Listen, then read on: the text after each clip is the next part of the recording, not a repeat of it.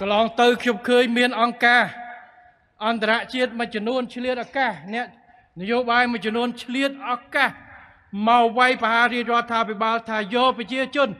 យកមកបោះចោលទាំងវេទនាលោកតាលោកយាយខ្ញុំថាអ្នកនិយាយនឹងគួរឲ្យមកមើលនឹងចុះមកមើលខ្លួនឯងហើយមើលនៅក្នុងរយៈពេលមួយឆ្នាំនេះ ប្រទេសកម្ពុជាមិនមែនប្រទេសអ្នកមានដូចសហរដ្ឋអាមេរិកដូចប្រទេសនេះតែប្រទេសមួយនេះមានរាជរដ្ឋាភិបាលមានឋានៈដឹកនាំដែលមិនអត់ចិត្តទេខិតខំដើម្បីធ្វើយ៉ាងណាប្រែคลายឲ្យការលឿនយើងធ្វើជាចំហមិនទុកឲ្យប្រជាពលរដ្ឋចោលទេសេវាដែលខ្ញុំផ្ដល់លើកបាននេះ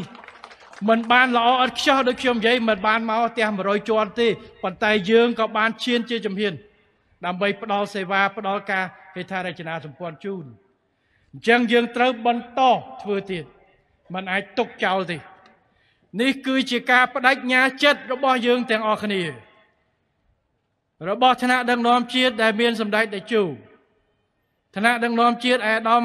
ឧបជាសភារាអតីតឧបនាយករដ្ឋមន្ត្រីអាដាមផ្សាយសម្បត្តិឋានៈដឹកនាំក្រសួងស្ថាប័នពាក់ព័ន្ធក្រសួងលោកជំទាវពើសក្តាអាដាមអភិបាលខេត្តតាំងពីអាដាមទាសីហាឥឡូវអាដាម ប្រាក់សព័ន្ធឋានៈដឹកនាំគ្រប់ស្ថាប័នទាំងអស់ជាពិសេសប្រជាពលរដ្ឋយើង ដែលជាកូនចៅចំនួនក្រោយ ទឹកចិត្តតែមួយគត់បេះដូងតែមួយ គឺរួមគ្នា ដើម្បីថែរក្សាពលឹងជាតិយើង ដែលមានជានិមិត្តរូបតាមគេថាសម្បត្តិវប្បធម៌ដែលក្នុងតំបន់ អង្គរនេះដែលបុព្វបុរសយើងជាង400ឆ្នាំចំណាយពេល ដើម្បីកសាងទុកឲ្យយើងហើយយើងត្រូវរួមគ្នាសតវត្សទី21នេះដើម្បីរួមគ្នាថែរក្សារៀបចំវិធានការយ៉ាងណា ដើម្បីឲ្យពលឹងនេះនៅតែរស់រវើករាប់ពាន់ឆ្នាំតទៅទៀតរួមជាមួយកូនចៅដែលបច្ចុប្បន្នដែលរស់បច្ចុប្បន្នជីវិតរបស់ជាតិមានការអភិវឌ្ឍសមរម្យនៅកន្លែងសមរម្យដើម្បីកូនចៅចំនួនក្រោយកាន់តែអភិវឌ្ឍ រីកចម្រើនតទៅទៀតនេះគឺជាការពិតបាទរួមគ្នា ដើម្បីអភិវឌ្ឍ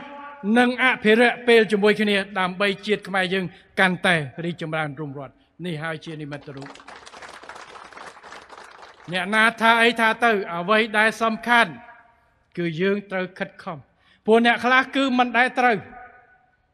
ខ្ញុំជឿថាសំបីតែជួបរៀបចំប្រជាពលរដ្ឋថ្ងៃហ្នឹង តិចទៀតគេយកស្អីទៅទៅរិះគន់វាយប្រហារមិនដែរត្រូវជួនកាលប្រជាពលរដ្ឋចូលមកអត់បានហ្នឹងក៏គេយកទៅវាយដែរជួនកាលយើងរៀបចំយើងរៀបនេះសម្រាប់4554នាក់4គ្រួសារសម្ភារៈដែលឲ្យនេះទោះបីជាចូលរួមមិនបានគ្រប់គ្រាក៏ដោយបងលោកយាយលោកតាខ្លះបាទដែលរៀបចំជួនកាលគេយកអារឿងហ្នឹងខ្ញុំមើល គេអត់មើលឃើញថាកន្លែងនេះពីកន្លែងវាលស្មៅកន្លែងមានមីនទៅជាកន្លែងដែលជាទីក្រុងមួយមានភ្លើងមានទឹកមានផ្លូវដូចទេមានសាលារៀនមានគ្រូមានវត្តអារាមដែលកើតឡើងក្នុងរយៈពេលមិនដល់500ថ្ងៃផងនោះទេ